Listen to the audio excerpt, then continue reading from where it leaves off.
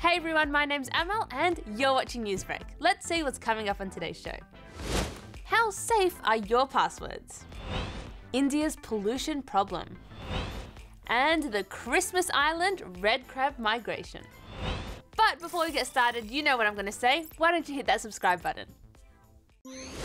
How secure do you think your passwords are?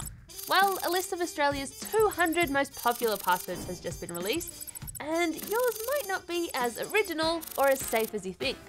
Here's Joe. Control. I see the villain's lair. I'm going in. I'm at the gate. I need a password.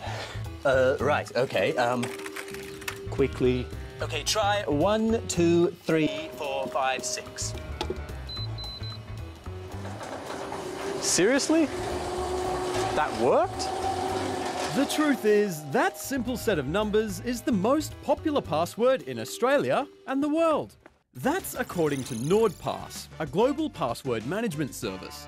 It's just released a list of the most popular passwords and how long it takes hacking software to crack them.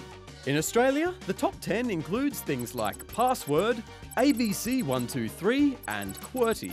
And, unsurprisingly, most of them took less than one second to crack. It's not going to be that easy this time. Uh, wh- wh- what about Australia, Princess, I love you, one, two, three, one, two, three, chocolate, soccer, monkey, mice. How many of these have you got? All up, there are 200 passwords on the list. So if one of yours is here, you should definitely change it. NordPass says that as people spend more time online, their passwords get weaker. And with passwords being the gateway to our digital lives, we all need to practice good password hygiene. That means creating complex passwords, regularly updating them, and never reusing old ones. Did any of those work? Nope. Still locked out. Oh. These guys are good. Schools have been shut indefinitely in India's capital because of air pollution. The tiny airborne particles in New Delhi are at dangerous levels. Half of government employees have been told to work from home, and some coal based power plants have been closed. India's top court's thinking about introducing a lockdown, the first of its kind in the country to help stop the smog. Here's a question for you Where would you find the tastiest tap water in Australia?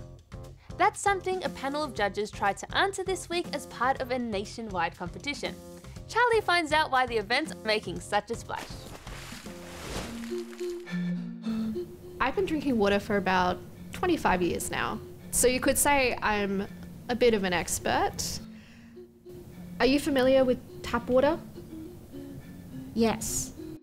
You're gonna love this because I actually know where to find the best tasting tap water in all of Australia. Believe it or not, that's a real thing. Every year, councils and water providers around the country submit their tastiest drops to be judged in a national competition. Where'd you get that second one? There's four things you want to look at colour, clarity, odour, and taste. This year's state winners, who scored highly in those categories, have just been announced.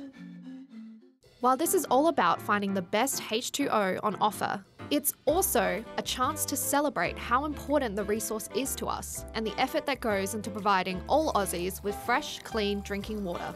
The reigning tap water champion is actually Rossarden in Tasmania. In fact, it was judged to be so good, it was named the best in the world at the international competition. I did offer my services to judge, uh, but they said I'm actually too into water. And it scared them. Move aside, make way, because for these next stories we've got animals on the move. These poor cows were left on a farm after heavy rain caused flooding in British Columbia, Canada. But with a bit of ingenuity, this rescue team managed to move the cattle to safety. Yay! It's official. Crabs are finally taking over the world. okay, not really. They're just on their annual migration from the rainforest of Christmas Island to the ocean for mating season.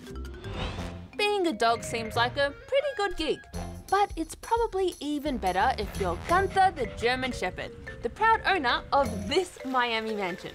Yep, He inherited this house, which used to belong to Madonna, from his grandfather, Gunther IV, also a dog. But now, he and his handlers are moving houses. Fancy stuff that's all from us. But before you go, why don't you hit that subscribe button and we'll catch you tomorrow.